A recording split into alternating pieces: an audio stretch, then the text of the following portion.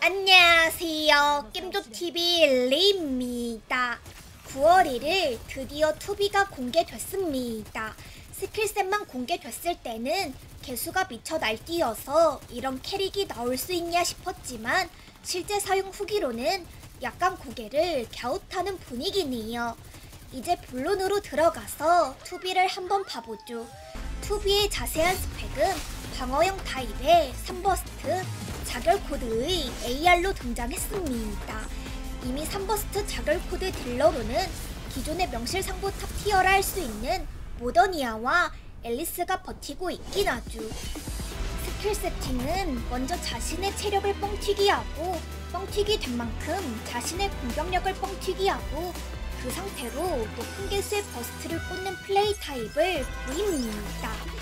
특히 다른 버퍼 도움 없이 본체 능력만으로는 예열 시간이 필요한 만큼 장기전으로 갈수록 제 능력을 낼 수 있다고 할 수 있겠습니다.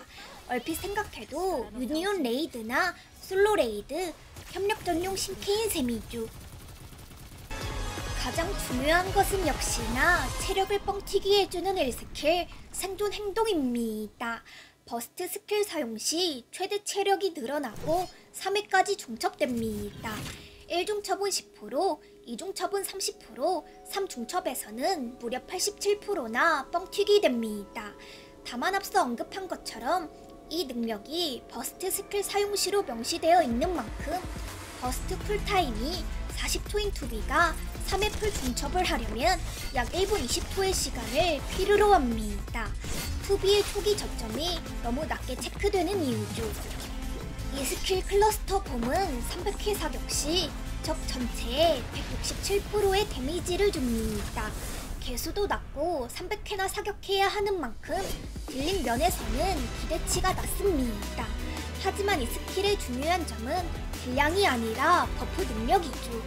무려 전투 시작 시 자신에게 시전자의 최종 최대 체력을 6.16%만큼 공격력 상승 효과를 줍니다.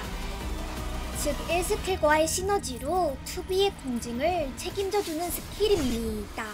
다른 AR들과 다르게 기본 장탄수가 무려 90발이기도 하고요. 여기에 마스트로 대표되는 체력봉 니케들의 buff 능력이 더해진다면 더욱 강력해지는데요. 실제 사용 평가로도 마스트와 함께 쓰느냐 아니냐에 따라서 고점이 치솟는 형태로 즉 조합이 어느 정도 강요되는 제한적 딜러라고 할 수 있겠습니다.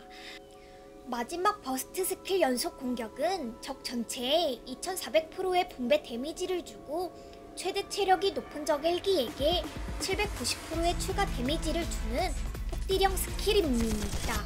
분배 데미지인 만큼 적 개체수가 많을수록 그 위력은 떨어지겠지만요.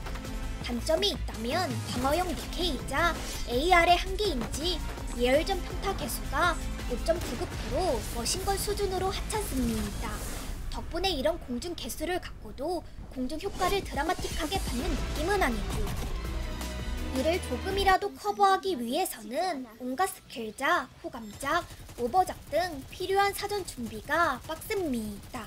받쳐줄 채뻥 니케, 그 중에서도 특히 마스트, 노이즈 등의 버퍼를 필요로 하죠. 아무래도 deck조합 선택지가 적은 분들께는 급한 성능이라고 볼 순 없습니다. 장기적인 성장 계획을 엄청난 과금 투자를 생각한다면 좋은 성능을 기대할 수는 있겠지만 무소과금이 투자해서 제 성능을 기대하기란 쉽지 않을 것 같습니다.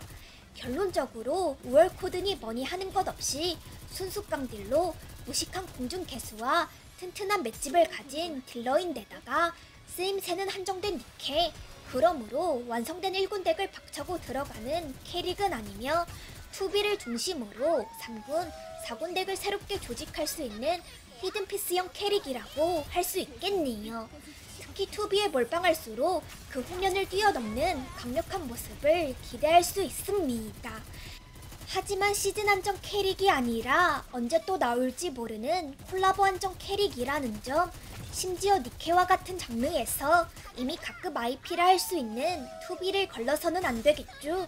1주년을 앞둔 시기에 다소 부담되겠지만 실사용을 위해서는 호감작을 위해 최소 2도를 아니라면 그래도 명함 정도는 득하셔서 한정케의 아쉬움을 과감히 떨치고 가시는 걸 추천드립니다.